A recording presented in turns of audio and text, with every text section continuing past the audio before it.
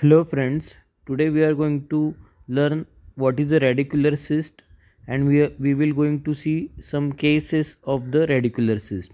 It is also known as a periapical cyst. Myself Dr. Hemant Bhavnerkar, I am a Mumbai based oral and maxillofacial surgeon. Let us start.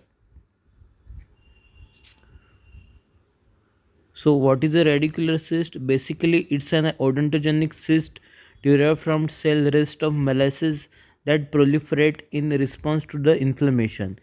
Uh, it also known as apical periodontal cyst, periapical cyst and root end cyst. Here we can able to see the because of a chronic infection to the tooth, the infection goes to the periapical region via pulpal infection infection route and periapically it enlarges and forms a cyst. So it is a basically odontogenic cyst. It is the most common pathology seen in oral cavity after the oral cancer, carcinomas. So let us see what is a cyst. As we know, cyst is a any any pathologic uh, cavity which is filled with the fluid, gases, or and it's lined by epithelium.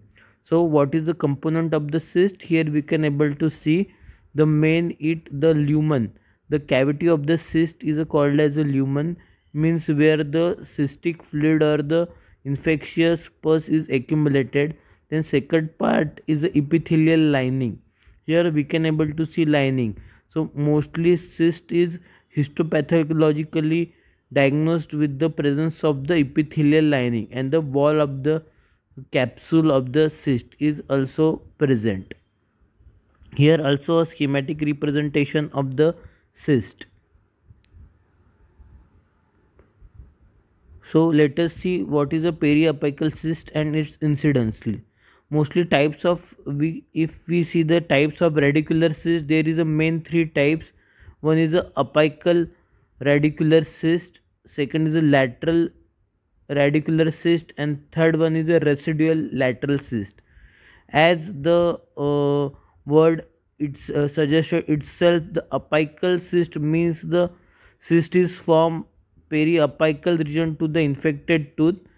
Then lateral cyst is uh, present at the lateral side and it's formed at the lateral canals from the tooth. Then residual cyst after the infectious tooth is removal the residual cyst is present there and it's called a residual cyst percentage wise most common is a apical radicular cyst is mostly a 70% in cases. Most common location for the uh, periapical cyst is maxillary anterior region followed by maxillary posterior region and then mandibular posterior region.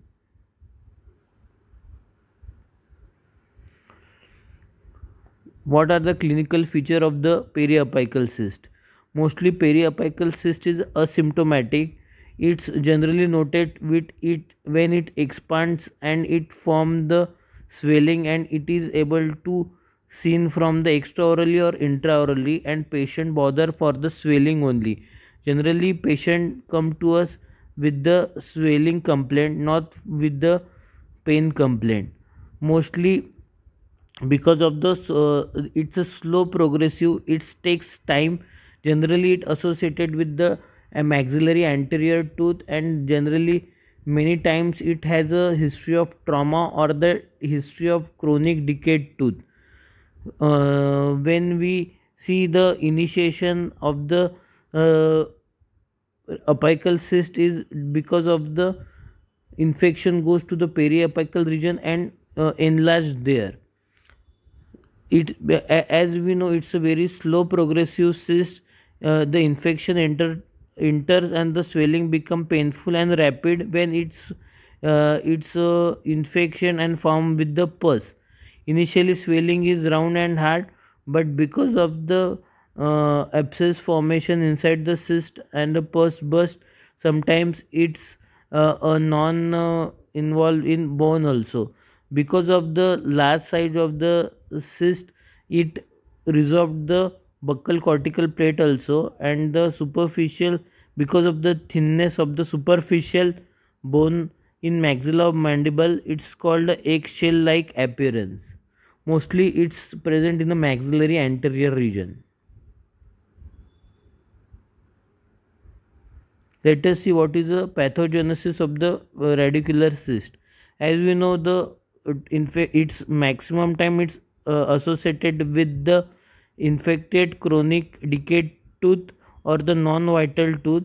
When the infection come through the periapical region via pulpal canal there is the initiation of the cyst formation and the proliferation of the cell rest of Malassez the cyst formation is start when the infection accumulate at the periapical region and it starts uh, enlarging when the infectious fluid is uh, encapsulated and accumulated inside the inside the uh, epithelial lining and forms the lumen.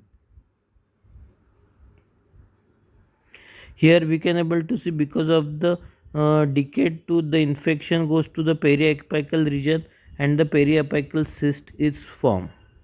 These are the uh, as i described earlier these are the three stage of the periapical cyst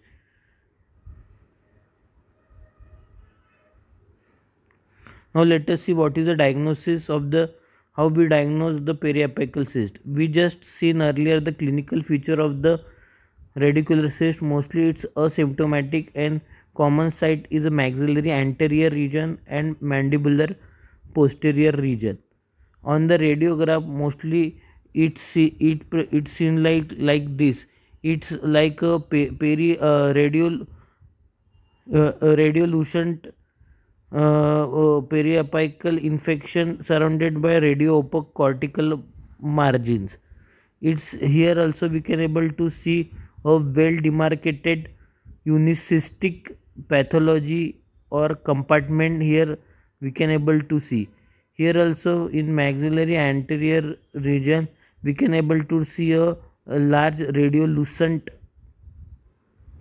cavity mostly we uh, we are able to uh, see uh, tell that this is a cystic cavity when the diameter is more than 0.5 millimeter. Here in mandibular periapical region it's this is also radicular cyst. The well demarcated cortical border are present. On the histological uh, histological slide there is a, always a presence of epithelial lining and the chol cholesterol clefts are there. So these are two peculiar uh, peculiar we can say uh, terms we can able to see on the histopathological slide now let us see some case reports. Here the we can able to see a swelling on maxillary anterior region on the clinical uh, clinically there is a no cortical expansion on on buccal cortical plate but there is a expansion present on the palatal cortical plate. It means the cyst is more like uh, toward uh, palatal side. Here on the cbct we can able to see there is a large radiolucent uh, uh, periapical pathology with respect to the two uh, uh, 1 1 and 1 2 tooth number here on the uh, coronal sections we can able to see there is a palatal enlargement here. The here also we can able to see the di dimension of the cyst almost to 22 22 millimeter from anterior posterior and superior inferior is almost 20 to 30 millimeter in size. So it's uh, very important that cbct also we should advise in maxillary radicular cyst. Here uh, on the same case, uh, in the mostly treatment is enucleation of uh, radicular cyst. For enucleation, we should uh, take a full thickness mucoperiosteal flap. Here uh, I have taken the full thickness mucoperiosteal flap with the one vertical releasing incision and the one crevicular incision with the 15 number surgical blade. After exposure of the pathologic uh, uh, area, I had done the osteotomy and exposed the cystic lining. Here we can able to take out the uh, superficial eggshell like bone here. after enucleation with the uh, uh, with the curette uh, we can able to see a, pathologic defect is here this is a cystic lining i have uh, taken out after the enucleation we uh, we debride the wound thoroughly with the betadine solution after that the apicectomy of the root canal treated uh, tooth was done Here the another case of radicular cyst in maxilla. Here after surgical exposure and enucleation the cystic lining is enucleated pathologic lining is enucleated and the wound debridement is done.